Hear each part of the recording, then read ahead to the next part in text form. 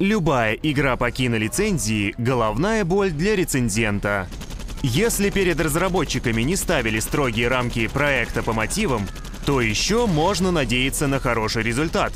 В противном случае все зависит от количества отсылок к самому фильму и предыдущим его частям.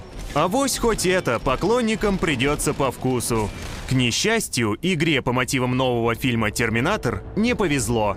В ней собраны все ошибки и просчеты, за которые так не любят других представителей этого весьма специфического жанра. Начать хотя бы с того, что сама вселенная не оставила для разработчиков хоть какого-то простора для фантазии. События разворачиваются за несколько лет до операции, о которой рассказывается в одноименной киноленте. И по ходу выполнения однообразных миссий главный герой встречает нескольких персонажей с большого экрана.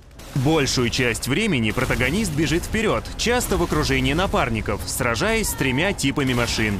Да, в игре всего три типа рядовых противников, у каждого из которых есть свои слабые стороны и уязвимые места.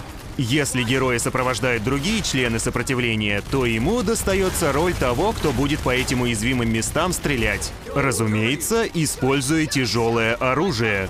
Напарники не отличаются сообразительностью, но свою роль исполняют хорошо, отвлекают внимание. Впрочем, благодаря удобной системе укрытий, пасть смертью храбрых достаточно непросто.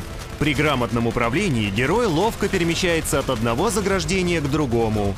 И единственное, что может его остановить, это какой-нибудь баг или угол. Когда Джон Коннор вроде бы и бросается к новому выступу, но застревает на полпути и не может сдвинуться с места. Руины Лос-Анджелеса – идеальное место для ведения боевых операций против машин. Предполагается, что один терминатор представляет собой огромную опасность, из-за чего и приходится постоянно перебираться из укрытия в укрытие. Проблема в том, что ничего кроме таких перестрелок в игре нет, а надоедают они очень и очень быстро. Да и потом, на полное прохождение уходит максимум 5 часов, чего явно недостаточно даже для проекта по мотивам. Рассматривая визуальную сторону Salvation, хочется похвалить игру за выдержанную стилистику и хорошую игру цвета.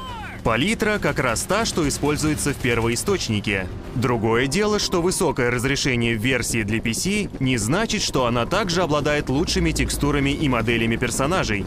Учитывая, как часто в игре встречаются ролики на движке, порой уж слишком часто. Странно, что многие персонажи выглядят так нелепо.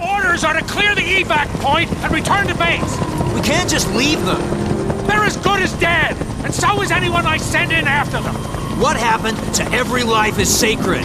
I'm sorry, Connor, but there's nothing we can do. Like you mean it, people, I want this place clear in 60.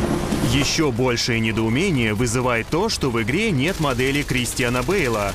Показывают Джона Коннора, но ты не сразу понимаешь, что это он. Это, возможно, было бы простительно, будь у Salvation какие-нибудь по-настоящему сильные стороны. Но из-за их отсутствия рекомендовать ее кому-либо, кроме поклонников простых шутеров или терминаторов, не стоит.